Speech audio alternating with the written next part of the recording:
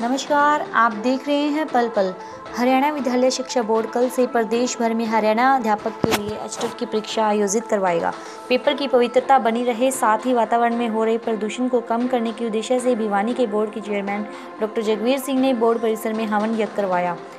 Doctor Jagvir Singh ने यह बताया कि प्रदेश भर में दो दिन तक एच की परीक्षा आयोजित की जाएगी। यह परीक्षा नकल रहित अकल से हो तथा किसी प्रकार की पवित्रता भंग न हो, इसके लिए बोर्ड परिसर में अधिकारी व कर्मचारियों ने हवन यज्ञ किया।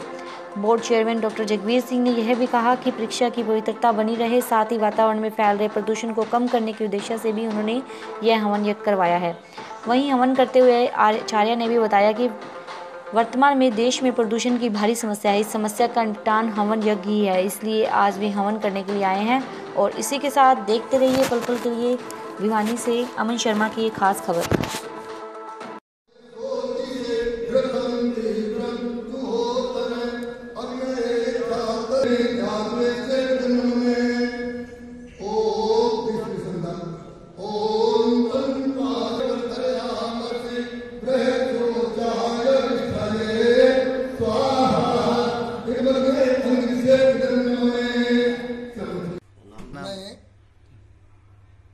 आचार्य स्वामी धर्म मुनि क्रांतिकारी, आर्य समाज घंटाघर भिवानी में धर्माचार्य के रूप में हूँ और आज यहाँ यज्ञ कराने हेतु में बुलाया गया हूँ।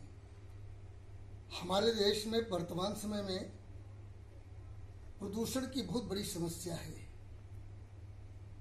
मैं ये प्रत्येक को ये निवेदन करता हूँ अगर प्रदूषण से अपने आप को छुटकारा पाना है तो हर घर में हवन शुरू हो जाए।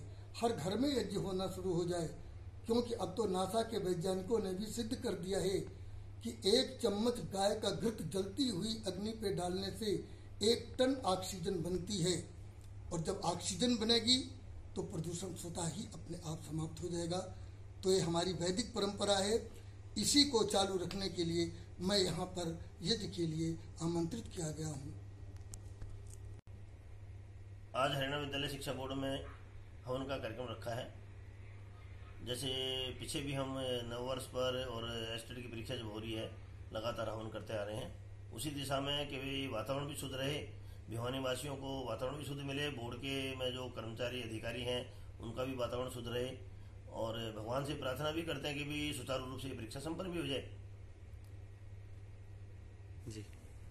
अपना भिवानी शहर छोटी काशी के नाम से जाना जाता है।